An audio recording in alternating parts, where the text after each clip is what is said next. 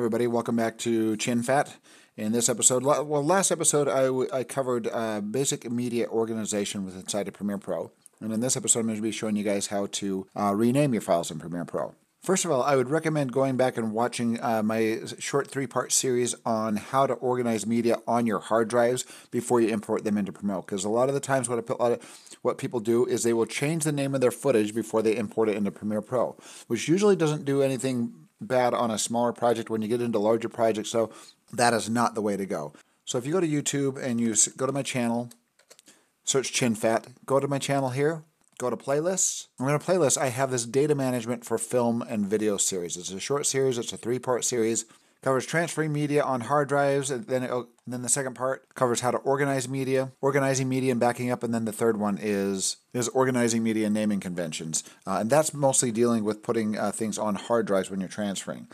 Uh, but then when you import them, you can rename the files. I, once again, I really uh, put a lot of emphasis on do not change the names of your files, of the actual movie files on your hard drive. Do that in Premiere Pro. Like I said, there's some types of media like red media. If you do that, you're really you're just going to screw up your media, and there's really no going back on that. If you didn't back up your footage from your red, then that footage is basically gone because the names in the footage and the metadata are really important to how red footage operates. So once you've organized footage, let's say I want to go into these folders and start renaming files. So I'm going to go into the red footage here first red footage, and it's got this naming convention for the original red footage here. I'm going to show you a couple different ways of renaming it. With, with this on a normal movie shoot, these clips would be renamed based on the shot that the shot number that it was given when it was being shot, and you can usually find that uh, at the beginning of the clips there'll be a slate right there, and the naming on this would be named after the scene number and the take number. So this shot name is scene number four, and this is take one. So all you have to do basically is select the clip that you're going to be renaming, and you hit the return key. When you hit the return key, it highlights a blue asking what you want to rename it. I see a lot of people do this. Don't you don't have to do this. They'll click right here at the end and then they'll go delete and take 20 minutes like that hitting delete to go back and delete the name and then they will name it. Don't do that. You don't have to do it. Uh, when you select a clip, you hit return. It highlights the whole thing. When you start typing, it eliminates the whole name. So this is going to be scene, I'm going to abbreviate here, scene 4 space T1. So that's the name of the clip right there. So now it has renamed this footage here to scene 4 take 1.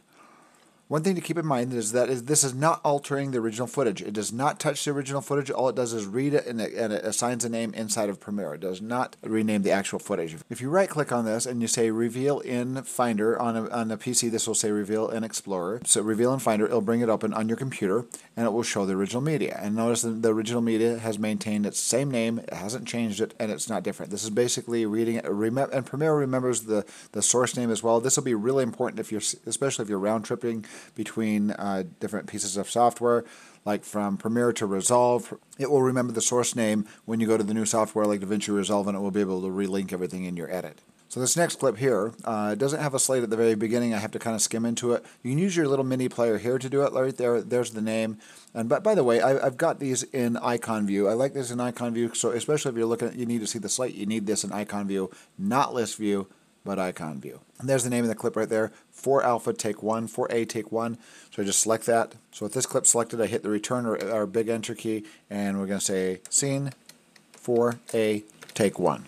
Now, if you have take two, see, this is the exact same name over here for alpha take, but it's got a take two. So what I could do is while I'm here in this uh, window here, I could hit Command A or Control A on a PC, and that will select the whole name. I can do Command C to copy, and then I can hit Enter to, uh, to select that clip, there we can go to this next clip here, hit return, and I can paste this, Command V or Control V, and then I can arrow back and say take two, because it's the same name, now that's got the same uh, name that's on the clip, scene uh, 4A, take one. All right, so if you're not naming them after the, the slate numbers, if you go to like drone footage here, you can name them after uh, names basically here. Let's go to my highlighting here. I'm going to double click on this. And if there's specific things that happen in these clips here, I can rename them based on what's happening in the clip. So this shot here is a 360 degree uh, view of somebody laying on a couch right there. So I can go down here and say hero shot couch, whatever you want to name it. And here they're setting up a highline, so I can select this, hit enter, and uh, call this setting up highline. If there's more than one shot, you might may want to number these. You can name it like maybe set, setting up highline. Uh, we can call this one, number one.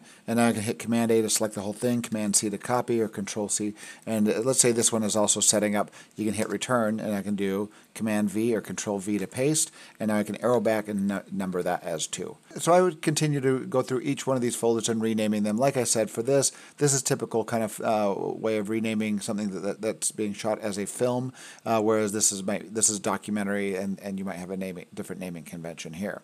So I'm going to go into project timelines. The last thing I'm going to show is once you've named those things, you have your little search engine here. You can click in here, and now you can easily find the footage based on uh, the name that you gave them here. So if we go, if I type in setting up, just type in setting, and it brought all the, it opened up the folders and showed me the ones of all the clips that have the word setting in it. So you can clear that out. Just make sure you clear that when you're done. And if I was looking for scene four, it will bring up all the ones that were named scene four. So pretty simple. Uh, a couple little concepts there just for renaming footage. Once again, don't rename your footage uh, that you're on your hard drive. Import it into Premiere and do the renaming inside of the software instead. And I highly recommend that when you do import your footage, you go through and rename everything. Will make things so much easier when you're editing. If you have this organizational process going on here, it will make make your editing so much better. It's a little bit of work. It's going to be a little bit of work in the beginning, but it will pay off uh, later on. It will be a lot more work if you have not been renaming your footage because now you can search footage, look for it, find it, edit it, and so on. Well, cool. That's it for this episode. Next one, I'll be showing you how to create timelines. So if you have any questions, please let me know.